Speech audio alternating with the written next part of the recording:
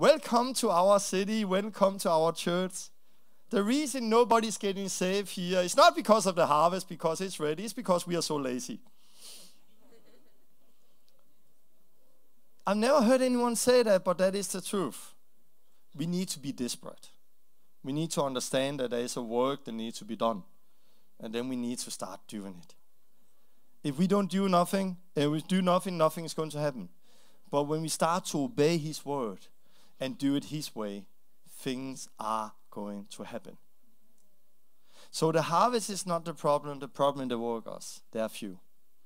And then we should pray God to send out workers, but we should not only pray, because after we pray, God say, See, I now send you out. So he sent us out. And then we read, as lamb among wolf. We often read things without really thinking of what we are reading.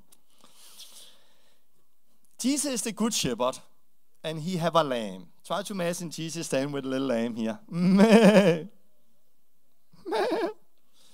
Sweet little lamb.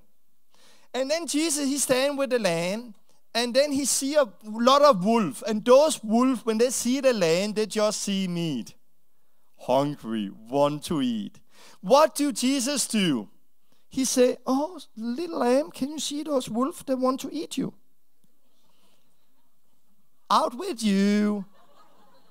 See, I'm sending you out to the wolf. I don't know if you have thought about it, but a shepherd's job is actually to keep the lamb away from wolf. If you work as a shepherd here in Holland and you see big wolf and you open the gate and you do like that with the sheeps, you are getting fired. Why? Because this is not your job.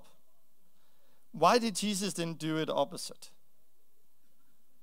Why do Jesus take his sweet little lamb and send them out among wolves? Because he's the good shepherd who's going with the lambs. And this is what he's doing. He's going with us.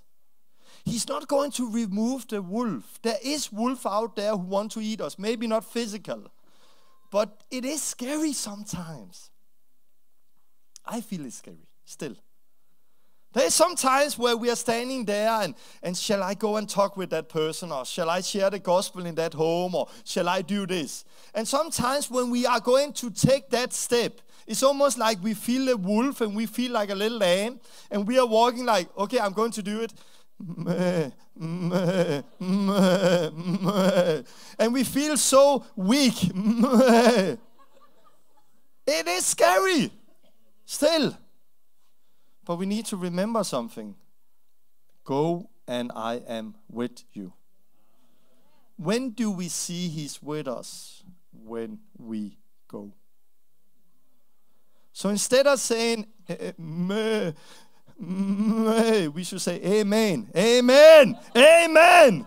And then we start to go. And when we take that first step, we will see He's with us.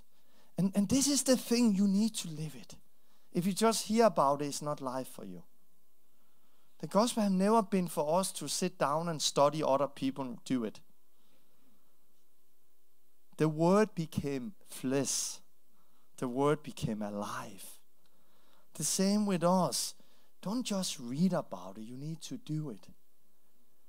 And it don't come to you by itself. You need to go out there and do it. If you cannot do it alone, then you don't need to be alone because you can contact other people and you can do it two and two.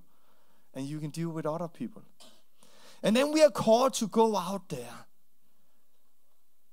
And Jesus, He gave us a specific calling what He wants us to do. He said, Go out and find a person of peace. If you find that person of peace, you stay in their house. You eat, you drink, you heal the sick, you cast out demons. This is what he called us to do. And if people will not receive your message, take the dust off your hands and feet and move on. This is Jesus calling to all of us. Jesus called us to go out and find a personal peace.